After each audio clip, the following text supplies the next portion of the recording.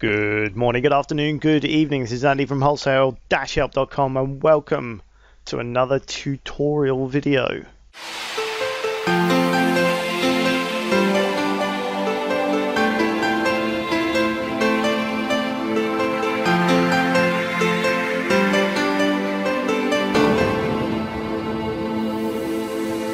Alrighty, in today's video I'm going to show you step by step what you need to do to upload an eBay template into your eBay listings. This is going to be a cracker, people, I'm telling you. It's taken a long time to put together for you, so I hope you appreciate it. Now, the reason for this is Trevor, one of our senior Wholesale Help members, asked for this tutorial. I say senior because he's one of the long standing Wholesale Help members, nothing to do with his age. I wouldn't be so uh, rude as to go down that road, so I'm going to not. so I'm going to move on swiftly. Yeah, so Trevor was having some issues with the HTML and getting the templates and his listings. But obviously, he wants his auctions to look good and professional. And of course, he turned to the one person he knows is going to hook him up. Well, here it is, Trev, my man. I know it's taken longer than I hoped to get this done, but it's going to be a much better tutorial for it. The reason why it took so long is there have been some changes, and halfway through this tutorial, I decided that not only will I be showing you how to do this, but I will be giving away the templates I use in this tutorial for free. I had them made by my designer especially for this video and at the end I will give you a link to get this template pack emailed over to you, free and for nothing. You're welcome.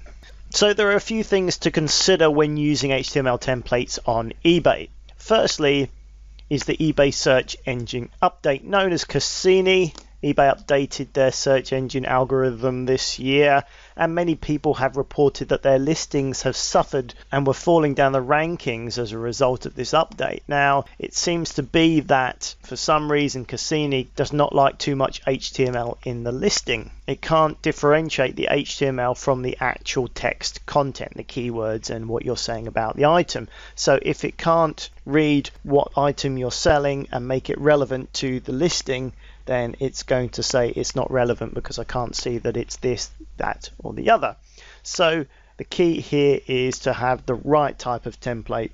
Some people say, oh, you can't use templates. I disagree with that. If you look on eBay, there's some very major players still using templates with no problem at all. I think what it is is you have to be careful with the type of template you use, but I'll go into more detail about that in just a second. So basically, we need to stay clear of templates with too much HTML, too much going on, too many clever little tricks, and just far too much going on. Because you want to get your keywords and the relevant information about the item as high up on the listing as you can so that Cassini can read it, understand it, and rank it accordingly. So the templates that we're going to use I've had specially built to be clean and tidy and easy to read. And I even had an HTML coder who is also a wholesale help member take a look over this and he's confirmed that it's nice and clean and it will be easy for Cassini to read and understand. So you can guarantee these listing templates are going to be fine for your eBay listings. Secondly, from a design perspective, I would say stay away from eBay templates that are too busy, too much going on. We've all seen them. The hectic ones that trying to promote every item in their shop all in one listing, you know? There's so much there, there's hardly any room for the actual listing info. It looks awful. It's confusing for your potential buyer, and quite frankly, it gives me a headache. Just say no, people. Refrain from putting a ton of crap on your listings. It doesn't look good, it doesn't help anyone. Keep it clean, keep it simple, you know what I mean. The other reason you don't want too much going on is that most people don't read your listings.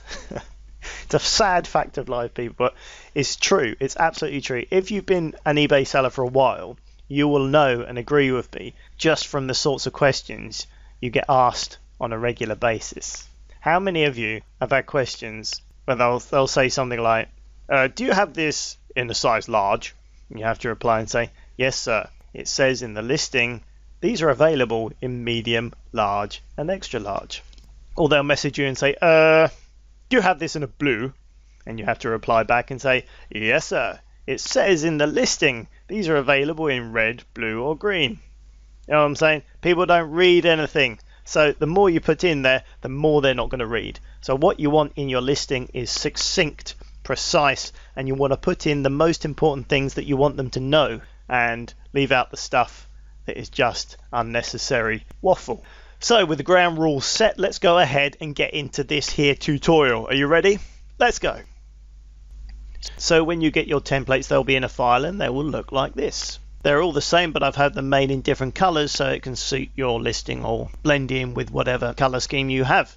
So if you double click on one, it will open in a browser window like this and you can see they're simple but well laid out. I have my designer just put in a couple of placeholder pictures here to show where the pictures will go and some random text and things but all this will be very easy to edit. We've got some header bars here for your payment policy, shipping, returns, contact, whatever you want. You can change this and make it how you want it. So let's get stuck in and let's get this into your eBay listings. So here we have a fresh eBay listing. Sure you've seen it before. This is where you put your title, condition, add your pictures and your item specifics. And as we scroll down here, marked details is where you would normally put your listing text. It's a WYSIWYG editor. You would change it like you would a Word document. We've all seen it before. That's how it works. And the, and the tabs here, we have standard and you can click on HTML, which is where the HTML text goes into. So if you're going to be following along, I suggest you open a fresh eBay listing like this and we'll be able to get started. So what we're going to be doing is taking the HTML code from the template file and pasting it into here. So let's do that right now. So what we need to do is select the color you want and right click with your mouse and select open with. And as you can see, once you hover over it, you'll be given some options. And we want to choose Notepad. If you have the text file option, you can use that instead. In this case, we'll use Notepad. Select that.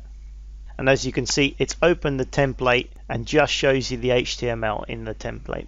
So we're going to copy this into the eBay listing. So the best way to do this is to right click with our mouse in the document and click on select all. Now that has selected all the HTML code. We want to right click again on the text and select copy. So that's select all and then copy. So now all the HTML code of the template is copied onto the clipboard of the computer. So if we now go back to our fresh eBay listing here we are. And just make sure we click on the HTML tab. We don't want to be in the standard view here. We need to be in HTML. Click in the box. Right click again. And choose paste.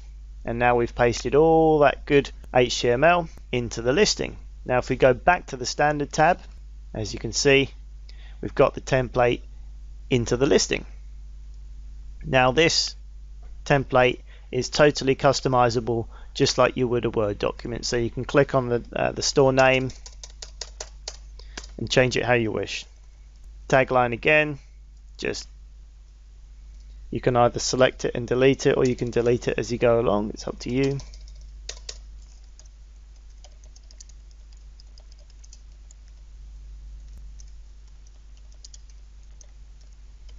So there we are. That's how easy it is. You can change any of this. and this placeholder text is exactly the same way put any description you want in here and the same for your shipping policy returns policy anything you want to put in here. You can even call this something else. You can obviously delete it and call call it something else. It's totally customizable. Now the next thing we want to do is get our pictures in here. And to do that we need to have an image host. I use ImageShack just because it's quick, it's an easy image host to use. But there are other image hosting sites out there you can use if you wish. But this one's really easy and simple. It's free to get started with it. And if you want to follow along with this tutorial as I go along, then you may as well just sign up for this so it will all make sense. I'll put the link to ImageShack in the description box below, but if you were to just Google ImageShack, it would come up. So here we are, I'm logged into ImageShack now and it's, as I said, it's really simple. We're just going to click on the upload button and select the file we need. Browse and upload. Select the turtle. That's uploaded. Now once once it's finished uploading you will have a link here and what's really cool about Image Shack is you can actually change the size really quickly like this. It will probably upload on full size and if you drop down the menu next to it you can select it as a thumbnail, small, medium, large, etc. So for eBay listings, medium is a really good size to fit in nicely with the eBay listing. So that's 640 by 480. So if I select that, the image link that I will get will automatically be altered to 640 by 480, which is really handy and really saves us a lot of time messing around with the images. So if I then select the link, right click and copy that link, we now need to open a, another browser window, whether that's Internet Explorer or Chrome or Firefox, whatever you use, open your new browser and paste that link into your browser. So right click and paste or control and V if uh, you use shortcuts, keyboard shortcuts.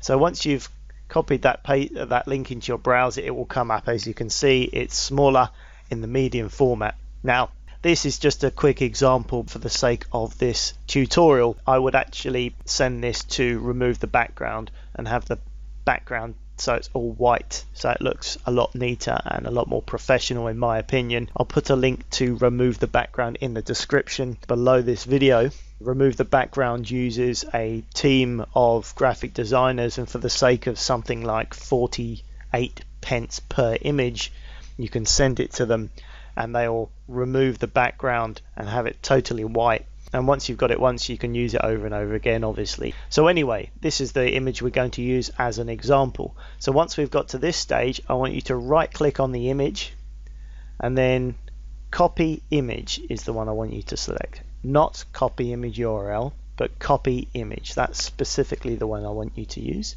Okay so now we've copied that image. Go back to our eBay listing here it is here is the placeholder images if we just click next to the images there's the cursor flashing away. So you can now just delete this or backspace as it is on the keyboard. The same again. Now we're going to leave the cursor where it is. Right click again and then paste.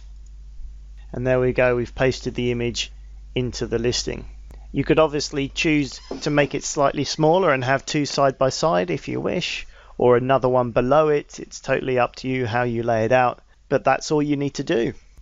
And there we have an example of a simple but effective auction listing template. It looks neat and tidy, it gives you enough information, it tells you about the shipping and the returns, and it gives you a good look at the item. To me, this is a nice, clean, and simple listing where everybody knows what's going to happen. There's not too much information to read, so it won't take too long. Most people will read it, and you know exactly what you're going to get. So, there you have it. I hope this has been useful to you, Trev. I hope that gives you a good idea of how to do it. And everyone else, let me know what you think in the comments as usual. And of course, if you would like to get your hands on a set of these listing templates for free and for nothing, the link, as always, will be in the description box below, along with the links to removethebackground.com and also Image Shack which are the two things you'll need to follow along with this video. Okay, that pretty much wraps it up. I hope you found it useful. Once again, my name's Andy Lawrence. Thank you very much for watching, and I will catch you on the very next video.